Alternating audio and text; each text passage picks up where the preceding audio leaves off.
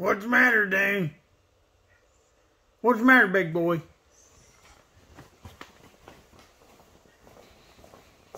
He's barking at something. It's all right, bud.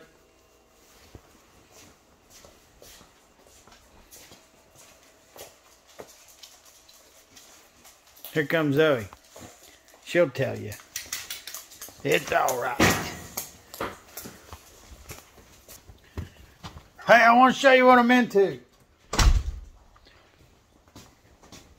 I don't know what Dune's barking at out there, but to show you what we got in the shop here. Uh, a buddy of mine moves these buildings. Now, this thing with the the, the prefabricated buildings, I'm sure you've seen these. Uh, companies build these prefabricated sheds and buildings of different types, and there's special trailers that these building movers use to move these buildings around, and these trailers are really, really cool. Uh, they're very capable.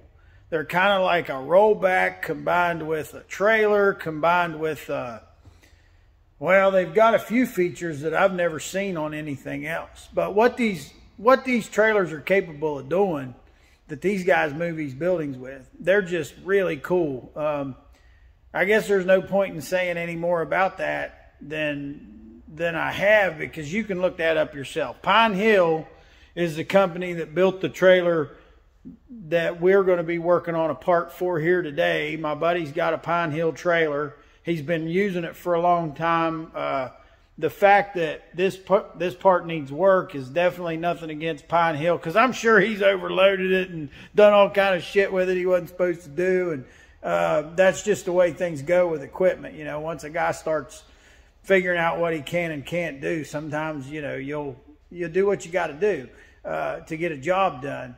And this trailer, I know, has moved a bunch of buildings. It's moved and set a bunch of buildings. So uh, let me show you what we're looking at.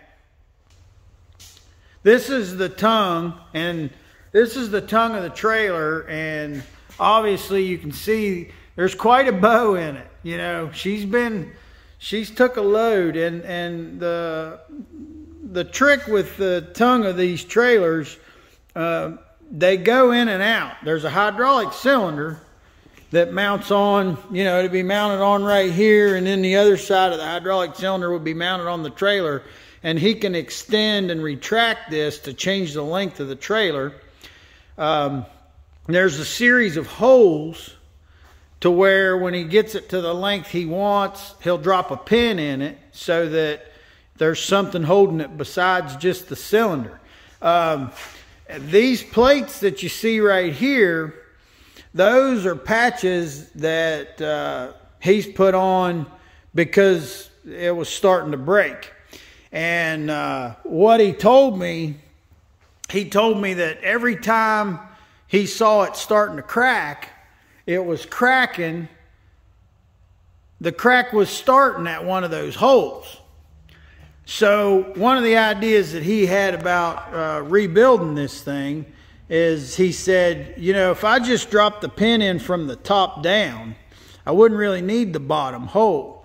And that crack's coming from the bottom hole. So maybe it'd be stronger if we don't put the hole in the bottom. Uh, and I can see that that makes some sense. But now I've got to looking at this thing. This is the top and it's doing the same thing. The, the crack, you see this crack right here, it's coming from the top. So does it matter if, if it's got a hole all the way through it, top to bottom? I don't know. I mean, obviously you're going to crack the bottom first, but seeing the crack we see in the top here just pretty much shows us that it's going to crack from the hole because the hole is a place where steel is missing. It's the weakest place in the tube. If you compare this place with a hole to this place with no hole, this is going to be weaker. There's metal missing. Uh, and I want to show you one of the tricks that the manufacturer has done to make this, let me get a light, make this tube a little stronger than it is. See, the way these are made, running all the way through there there's a couple of half inch plates inside of there.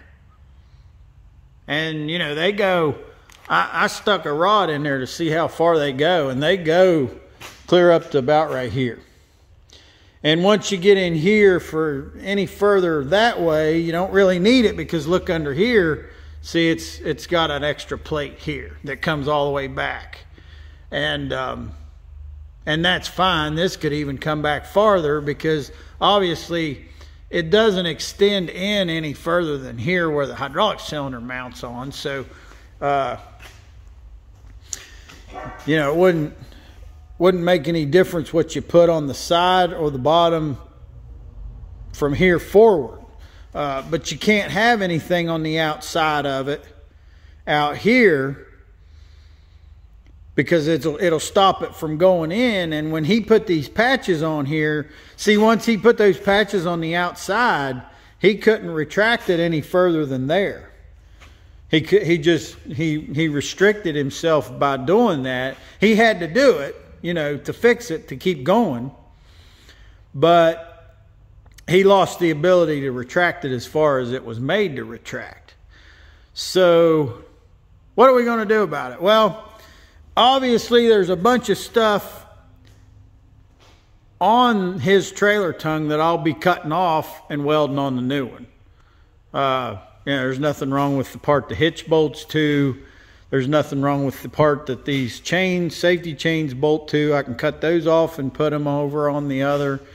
This bracket that the hydraulic cylinder mounts to, cut that right off, take a measurement, put it on the new one. But uh, what are we going to do about the new one? Like how are we going to fabricate it? I'll, uh, I'll tell you one thing we decided right off. Uh, this has half inch plates in it and we're going to be using a, uh, the bars we're going to use are three quarter and I've already cut those to length. Um, and he had mentioned like I said just putting the hole in the top and not dropping the pin all the way through. We I've changed I've changed that plan because I am going to drop the pin all the way through and I've already drilled holes in both sides of this tube where I want it and if you notice those holes are extra big well, I'll tell you what my plan is. Uh, instead of just having a hole in the tube, I'm going to sleeve it. And I would like to have this sleeve inside of that tube and weld that sleeve solid to the tube. See, that's going to be way, way stronger than just having a hole in the tube. And the critical thing is, this has to line up perfectly with those holes. So I'll tell you how I'm going to do that. These are longer than they need to be. The hole is as big as the outside diameter of the pipe. So I'm sticking that through there like that, even though the pin only needs to fit on the inside of this. But here's how I'm assembling it. I'm going to put all of these sleeves in this tube and make sure that they're all the way through the holes I've drilled. See, that's going through here and then it's going through clear down to the table. And I've got these cut, so I've got four inches left. So now I'm going to take these flat bars and I'm going to stand the flat bar up right beside here on this side and on this side, and I'm going to tack those flat bars to these sleeves. One on each side. See where I'm going with this? Once that's tacked up, I'm going to pull this assembly with the two flat bars and all these pipes. I'm going to pull it up out of there. I'm going to lay it down, and this pipe that's in the tube right now will be sticking out. I'm going to cut that off. Then I'm going to take that assembly I'm going to slide it inside of this tube. I'm going to line it up with the holes and I'm going to weld all the way around each one of these. Weld around the sleeve and weld the sleeve to the tube.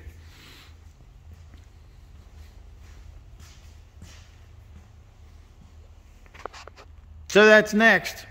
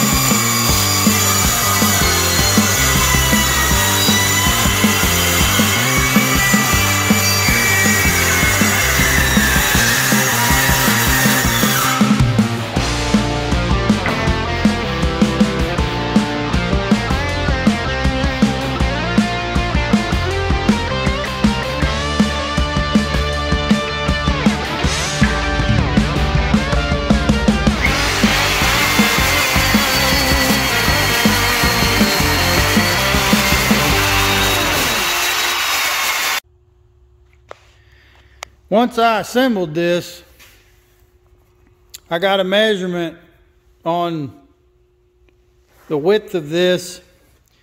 And then I came over here and I took a look at where I would want to drill a couple more holes for the purpose of plug welding.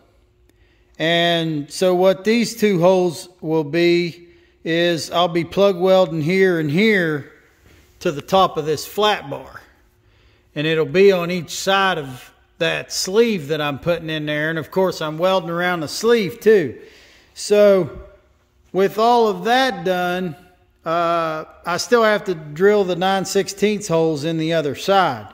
But once those 9 16 holes are drilled in the other side and that bar is put in there and they're plug welded, then your bar is going to be plug welded top and bottom in each side, which will make, you know, uh, it, that ties this in at every hole, which, you know, is going to make this a lot stronger uh, as far as avoiding uh, this bow effect that we've got with this one. And also with those holes, the three holes welded in a row like that, I think we can eliminate this cracking that comes from the hole outward because that's really going to strengthen that up. I got the other side of this tube drilled. That's all the drilling uh, for the to to plug weld the holes to the flat bars and to uh, weld around those sleeves. One thing I'm going to mention, I made this as a replacement for this piece, and this is one piece that this piece in here is one piece that I'm not going to try to reuse. I made another one. So uh, I, the reason I went in and did this though, I'm going to tumble this in my cement mixer full of nails and see if it can really smooth it out nice because the purpose of this right here is to run wires through. So I want to try to see if I can, if those nails will round everything off real nice like it usually does so this, uh, this doesn't have any burrs that would hurt those wires. Uh, while that's tumbling, of course I can assemble this and see how that goes. I think I'm finally done making holes. Okay, we got, there's four holes in each end that just serve to plug weld the ends of our flat bar.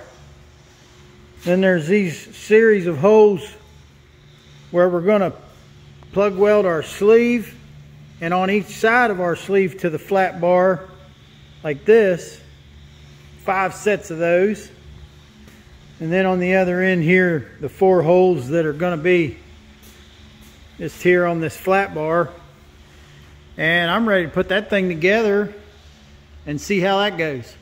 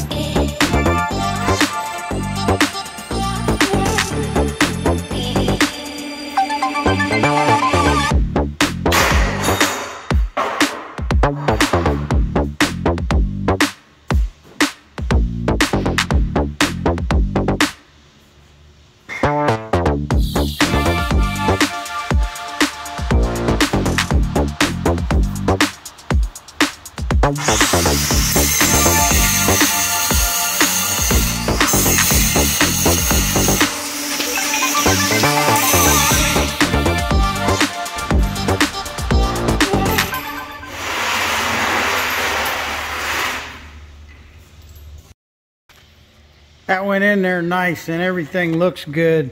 Um, I could tell by looking at the top and the bottom that it's all doable, but I think the way this is going to go, like this one's just a, this one, this sleeve is, it needs to go away from me just a little bit, like right there, it's perfect.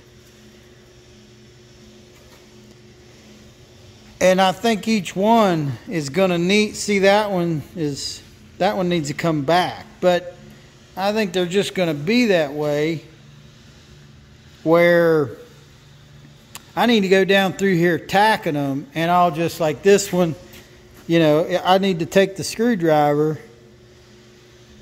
and get it just perfect and put a tack on it and then you know that one will stay and then I can go to the next one and and I can keep moving down the line. This one here needs to come this way a little bit, but it's you know, it's no problem to pull it. But the way, the only way I'm going to get it to stay is if I go down through here tacking. So we're good on this. It's just going to be going down through there tacking it up. So I'm going to do that.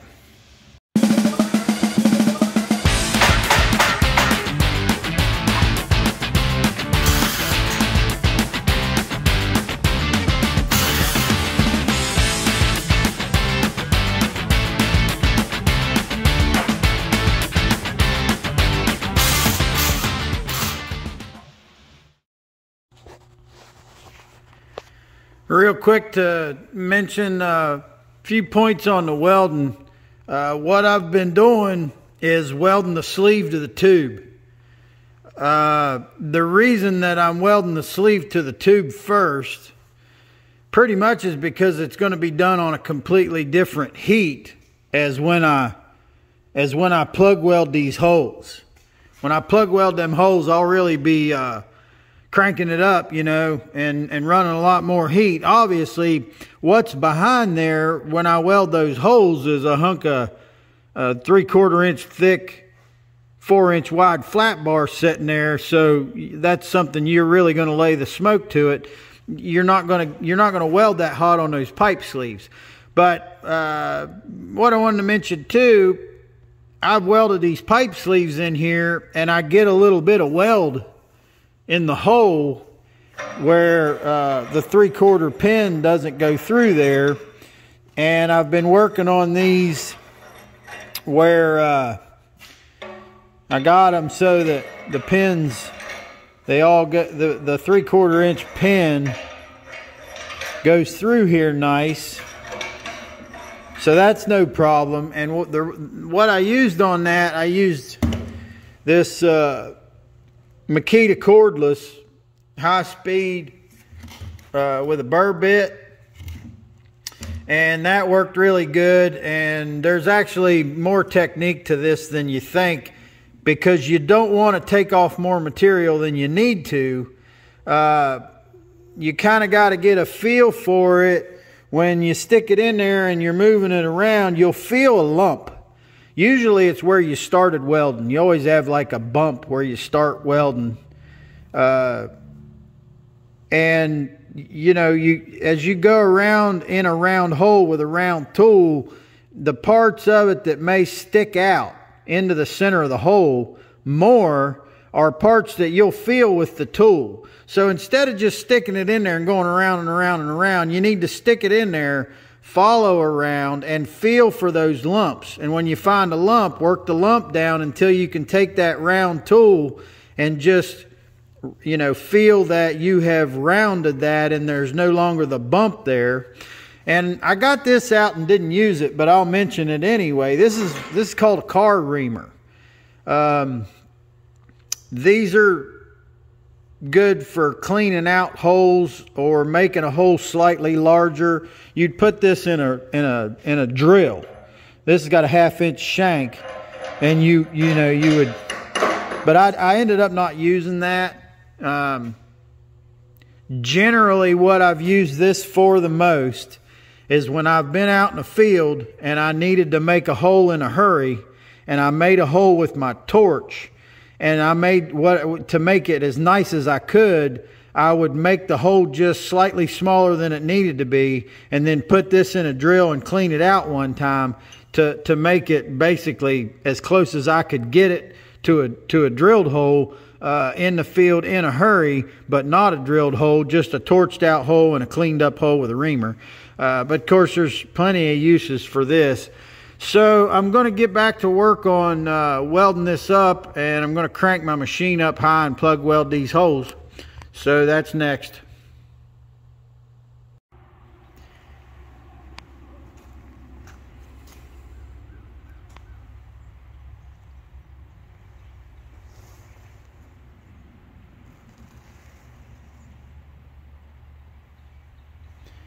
We got all these plug welds done.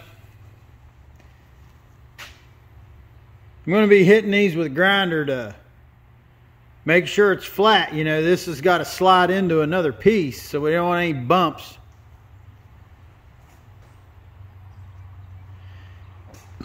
One thing about the way I welded this, I, I used the Millermatic that I've got the uh, the 030 diameter wire in. There's 030 in this one and 035 in that one. The 030 I feel like digs down into a hole like that a little bit better. Either one would work. But I was pretty pretty high on the heat for 030. I was at 22.6 volts and 400 inches a minute of that wire. So I'm going to grind these off now and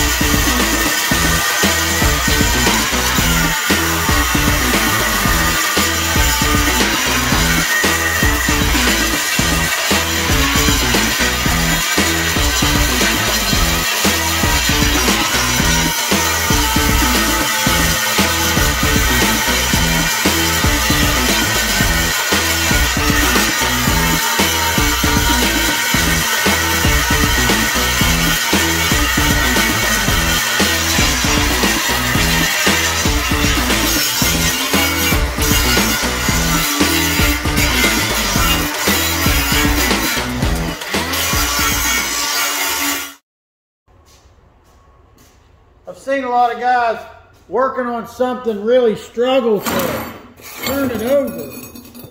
Uh, you know, grabbing something like this tube by, by hand and trying to. It's really tough. You get a hold of it with something. I want to turn this, get some leverage, control it. So the structure of this tube's all welded up. So the next thing obviously is the parts on this old one that I'm going to use, I'm going to start cutting those off. I'm going to carbon arc those pieces off. Uh, one thing I found that was interesting is that bolt's loose. Um, I might take this off of this. I might take the hitch off of that, uh, off of that hitch bracket I wouldn't necessarily have to, but I'm probably going to have an issue cutting that weld with that bolt head there anyway. So one of the things that I did uh, before beforehand is I've looked where and measured where all, all the things are and I've went ahead and laid the other tube out. I've went ahead and marked it and I know where everything's going to go. Uh, before I even take it off. Uh, this is for the jack, safety chains, this piece where the wires go through. Obviously, this needs transferred over there. This is for the hydraulic cylinder. I've got marked on there where it goes. And then back here, there's a bracket for the track. There's a track that contains wires where the wires fold up when this thing telescopes in and out. And what I see with it, the bracket, uh, there's about 3 eighths of an inch here, you know, behind that. Uh, and then it sets down on bottom. So that makes this pretty simple. When I when I position that here, I'll just put a 3 eighths there and clamp that piece on with that much sticking out. So I think it's time to cut this apart. That bolt in the hitch, the one that was loose, I just got that out of there. And uh, it took some doing. And I decided on this next one, I'm going to shoot some footage of it. Here's the bolt I took out. And when I say it took some doing, uh, it was tight. I, I put a I put an air gun and a crescent wrench on it, and even with a pretty good crescent wrench, it was trying to roll the head of that bolt. My my my impact gun on turning it turning the nut on this side was turning with enough force that a crescent wrench wouldn't hold this in. So I went and got a box end wrench and put on it I put the box end on this bolt side. That held it, but my half inch impact gun would not turn that nut. Next thing, heat the nut. Now, these are elastic stop nuts, and I guess I should tell you that once you heat these, it's not an elastic stop nut anymore, but it's still a nut. Uh, you can put a lock washer on it. You could screw it on there and tack it. There's plenty of things you could do to reuse this nut. Now you're going to have people that'll say, why would you reuse that bolt? Just get another bolt. Okay, fine. If you got another bolt right there handy, use the other bolt. But look, I've repurposed bolts repeatedly and not had a major issue with any of them. I had a buddy here this weekend that had three trailer hitches with hitch balls and, uh, the, the, the hitch balls were stuck in the hitch. And we used a torch to get those out. And we were talking about that. Yeah, you know, you can pay 20 bucks, but uh, get, a, get a new ball for 20 bucks. But you still got to get that ball out to reuse the hitch, or you're going to have to throw the hitch away too. And if you got three of them that are stuck and you go, you know, with a torch in a little bit of no time, we saved $60 worth of balls hitch balls and we probably saved another 60 or a $100 worth of hitches. And in the case with these bolts, when you're taking something apart, if you can put it back together with those bolts, you don't have to go get that. So it's something to consider. Like, that's why I'm saying, sure, you know, if if you got a whole bucket full of some bolt, then yeah, just take a torch and cut it off. But this bolt and that nut, if I reassemble this with these two parts, and I either add a lock washer or screw this on and tack it or whatever, I'm not going to have a problem with that. That's going to work. And, you know, when I worked in the drilling industry, when I was out on a rig with my torches, you know, if the hands were struggling with a bolt, they'd say, Oh, cut that bolt off. Well, sure, they'd say, Cut that bolt off. Because for one thing, that meant I had to remove it and not them. That's less for them to do. And for the other thing, the new bolt that went in it is not a bolt that they would have to pay for. So, of course, you know, they're like, yeah, just get another one. Uh, but anyway, I do want to, I do want to go over how I would remove and recycle a bolt that's so tight that if you don't remove and recycle, you're basically going to cut off and waste. So let me set this up. Let me set this up. I think this will probably work. We'll give it a shot right here.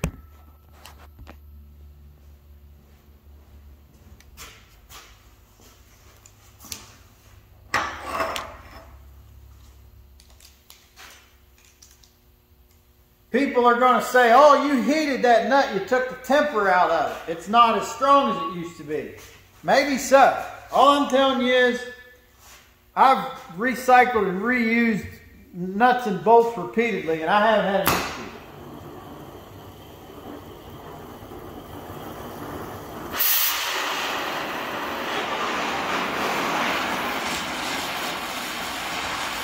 On the elastic stop nuts though, definitely you're going to burn the elastic out of it.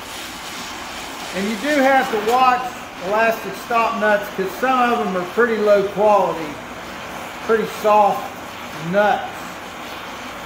I don't think this one is. The way the impact socket acted against these makes me think these are pretty hard, pretty good material. What's happening here is I'm actually, there's so much rust in there that that, that nut is rust welded to that bolt. It's pretty much what's happening.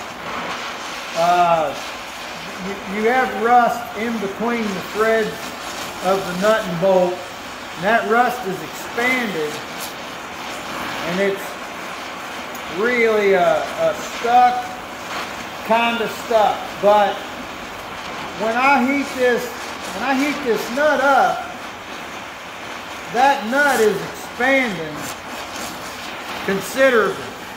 It's getting bigger. When it gets bigger,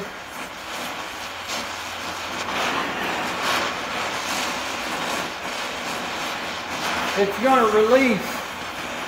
It's going to release itself.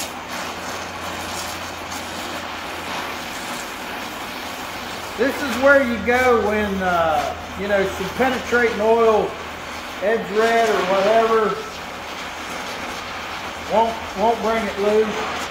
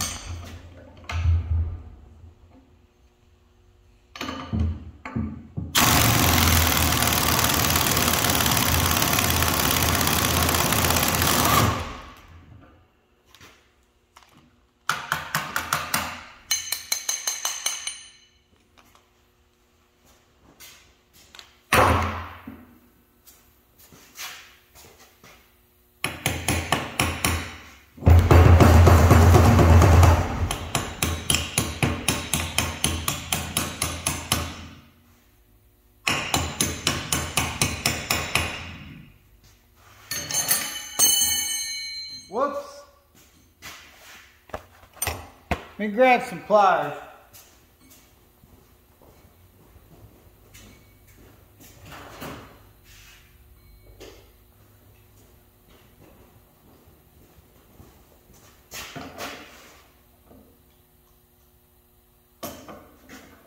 Obviously that's going to be too hot for me to touch.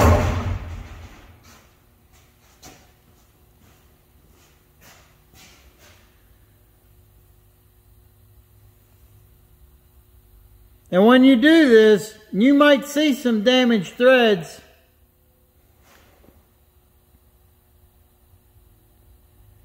This one's not really damaged, but you might see some damaged threads.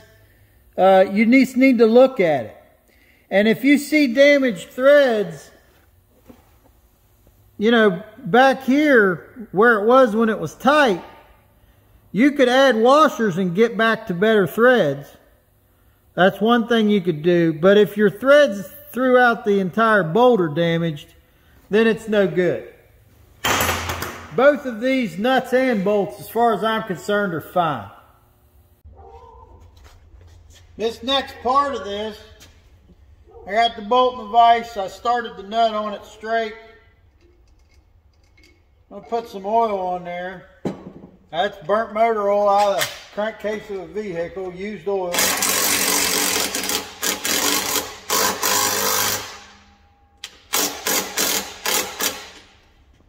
Use my little 3 8 cordless, it's handy.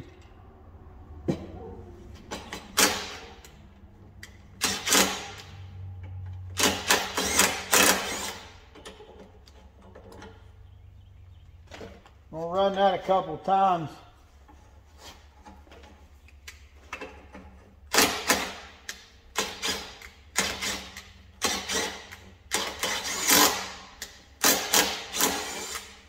Those threads are completely fixed. Run that with your fingers now. Nothing to it. That's not fighting me at all.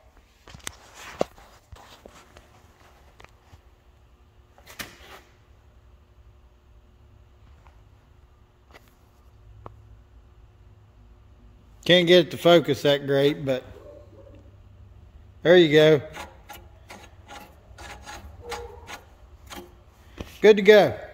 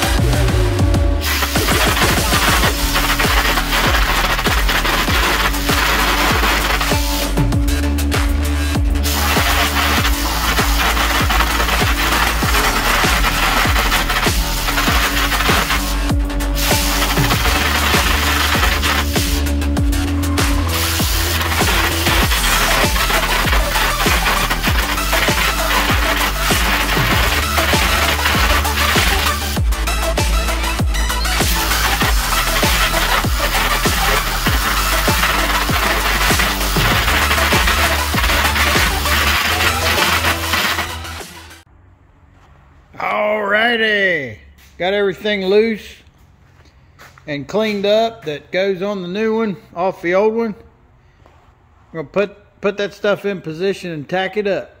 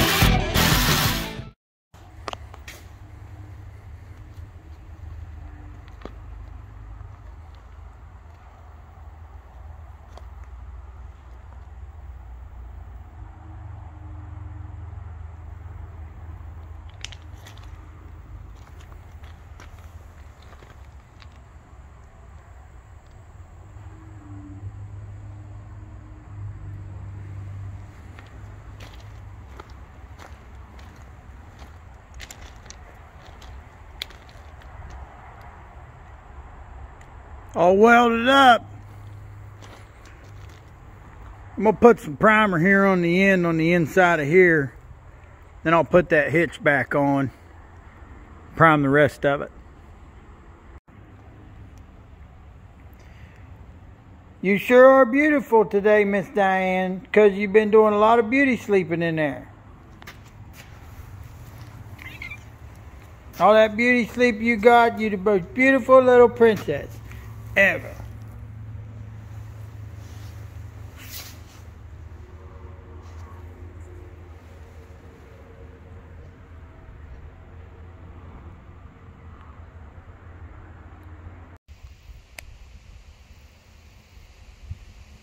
Miss Princess Diane is looking around, enjoying her day. She's had plenty of nap time today. Sitting there sleeping on a pillow. Got the primer on this thing.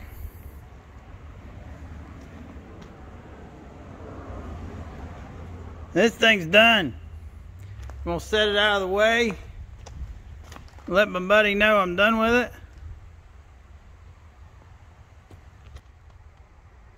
What do you think, Miss Girl? Do you like it? That's all for this one.